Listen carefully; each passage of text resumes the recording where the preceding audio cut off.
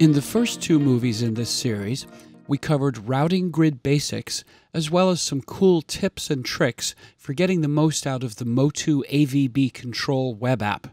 In this movie, let's explore presets, which let you instantly configure your Motu interface for many common usage situations.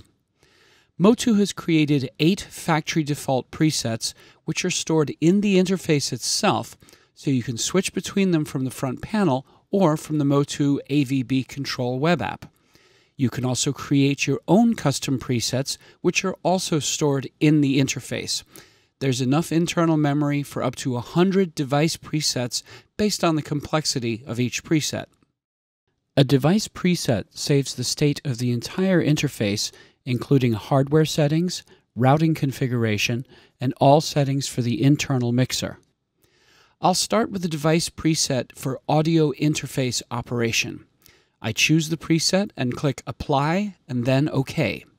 We can see hardware settings for the interface, including enabled inputs and outputs.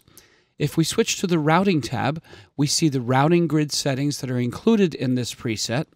In the audio interface preset, physical inputs are routed both directly to the computer and to the onboard mixer. Computer playback returns are routed directly to the physical outputs on the interface. That's it.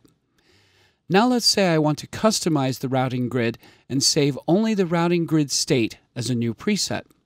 A routing preset is a subset of the device preset. The current routing grid setup has the computer playback returns being routed directly to physical outputs on the interface.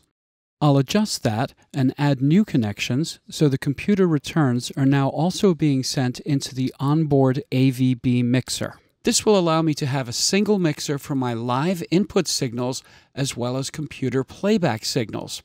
Now I'll save that as a separate routing preset.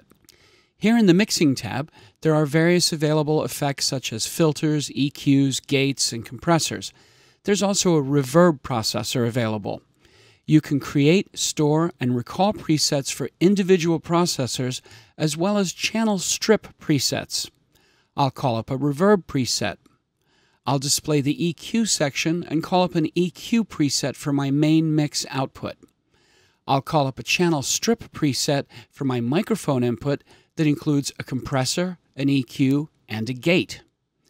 So think of effects presets, channel strip presets, and routing grid presets as independent subsets of a device preset. This allows you to save and recall them without affecting other device settings.